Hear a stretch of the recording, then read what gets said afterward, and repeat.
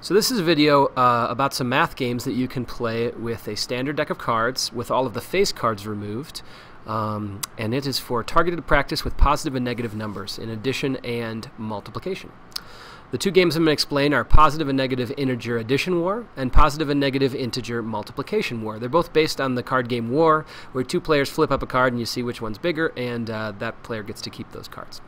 Uh, so for both games, because they're, we're trying to target uh, the skill of working with positive and negative integers, for both games, all black cards are going to have a positive value, where either of these sixes would be a plus six, and all red cards have a negative value, so the six of diamonds and the six of hearts would uh, be worth negative six. Each one would be worth negative six. So keep that in mind as we go. Um, first off, uh, for Addition War, I'd like to show you just kind of the way, uh, one of the best ways I've used to, to talk to kids about uh, what happens when you add uh, and subtract positive and negative integers. And that is to think about a really simple number line with zero in the center here, positive, uh, you know, addition moving always to the right on our number line where the numbers are getting larger. And when we subtract, no matter where we start, we're always moving to the left or getting smaller on the number line, even when we're going past zero. So uh, if we take a look at this example of 4 plus 3, if I had the super basic number line, I could even put my finger on 4, which would maybe be about here. Plus 3 would have me going in this direction. 5, 6, 7. 4 plus 3 equals 7. Let's take a look at another uh, addition problem. This time I'm starting at negative 4, which would be about here on my number line.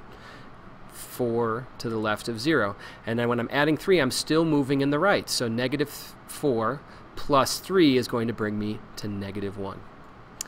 Now, when I'm adding a negative number, it's the same as subtracting. I'm always moving this way. I'm always moving this way on my number line. So if I start at negative 4, which is here, and go back, add a negative 3, I'd be moving in this direction, which would leave me at negative 7. And if I start at 4 over here and move a negative 3 it's going to be back in this direction and I'll be at 1. So uh, if you're playing with your students or um, if you're playing with your kids and playing this game, this little thing on a scratch piece of paper, 0 with a number line, maybe even the positive and negative arrows would be just a great tool that you can march your fingers along to help them if they get any of them wrong. Now let's take a look at the game. Three steps. Player 1 flips up two cards and adds them. Player 2 flips up two cards and adds them. And the player with the greatest value keeps all four of the cards. Let's take a look at some examples. Player 1 flips up a red 7 and a uh, black 5. So that's negative 7 plus 5, and that's going to equal negative 2. Player 2 flips up a black 4 and a red ace. Aces are always worth 1. 4 plus a negative 1 is 3. Since 3 is greater than negative 2, player 2 would keep all four of the cards and then it starts over. Flip up two more cards. So the next round, let's see, we've got uh, a red 3 and a red 4. Negative 3 plus negative 4 is negative 7. A red 8 and a red 5 would be negative 8 plus negative 5 is equal to negative 13. Negative 7 is greater than negative 13 because it's closer to 0. If we go back to our number line, we'd say, okay, where would negative 7 be? Maybe it's here. And where's negative 13? It's going to be all the way over here. So which one's greater? Well, the one farther along to the right on our number line is greater. This is why this number line is a really great, um, you know, visual for kids. It's a great way to have that conversation, to be able to put our fingers on the number line and talk about which one's greater or which way we're moving when we're adding or subtracting. Uh, so let's take a look at our example here. Wait, uh, okay. Negative 7 is greater, so player 1 keeps the cards in this one. In this example, uh, we've got 4 plus a negative 3 is 1 and negative 8 plus 9 is 1. Here we have a tie. So in war, uh, you know, uh, this is called War. That's what the game's named after. Uh, and here's what you do. You flip down two cards face down, two cards face down, then two cards face up, and you add these. 2 plus a negative 2 would be 0. The same player does 2 down, 2 down, 2 up. Or the player 2 does 2 down, 2 down, 2 up. This would be negative uh, 5 plus 4 would be negative 1, so we got 0 to negative 1, and the 0 uh, is greater. So player 1 gets to keep all of these cards, every last one of them. So wars are really how you kind of win this game. But everybody gets some good practice in, so it's a great game. Okay, uh, a couple variations you can do for uh, addition war with positive and negative integers. Uh, you could change it so that the smallest value wins. So shuffle the cards uh, back up and say, okay, on this one, uh, whoever gets the smallest number is going to win, and you're going to take all the cards. Uh, another thing you could do is play subtraction war, where the rules would change a little bit, um, just whether or not you're subtracting. But that would be a good variation to toss in with this game too. Next, let's talk about uh, positive and negative integer multiplication war. The game is exactly the same in the rules, except that when we flip up the two cards, we're now multiplying them. Uh, a quick note about just multiplication of positive and negative integers in general. Um, this is a chart I've seen used in a lot of textbooks and a, a, kind of a great way to represent all of the possibilities for positive and negative integers when you're multiplying. And that is that a positive number times a positive number equals another positive number. A negative number times a negative number will equal a positive. A positive times a negative equals a negative. And a negative times a positive equals a negative. Um, there are many ways you can show this to be true.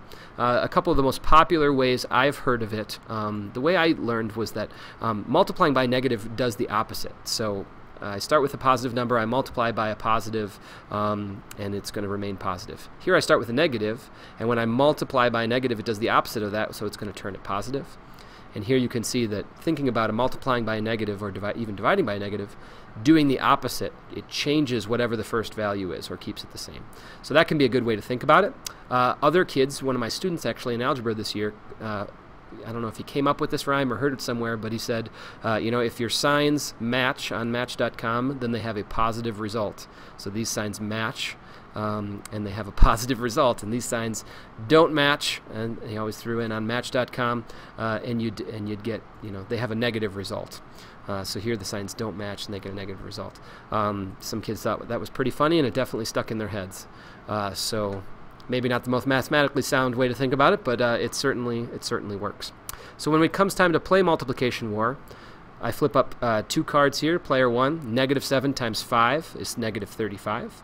Player two says four times a negative one is negative four, and negative four is greater than negative 35, so player two wins and keeps all four cards. Next round, player two flips up two. Negative three times negative four is positive 12.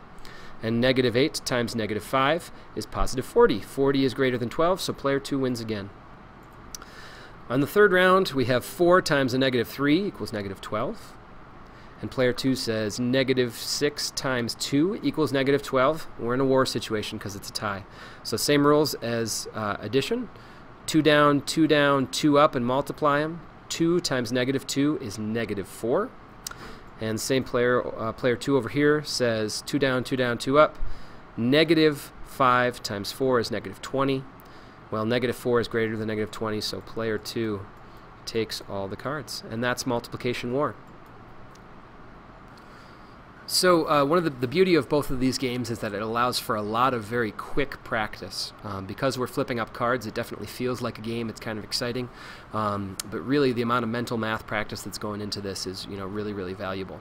Uh, if you have a student who's having a lot of trouble, anything you can do to slow it down, including maybe even writing out, uh, you know, flipping up the cards and then writing out the problem that it tells you to, uh, can slow kids down and really give them that uh, practice with writing uh, an addition or a multiplication sentence correctly uh, if that's what they need some additional help with. So uh, a lot of variations with these. Use them, have fun, uh, and enjoy the games.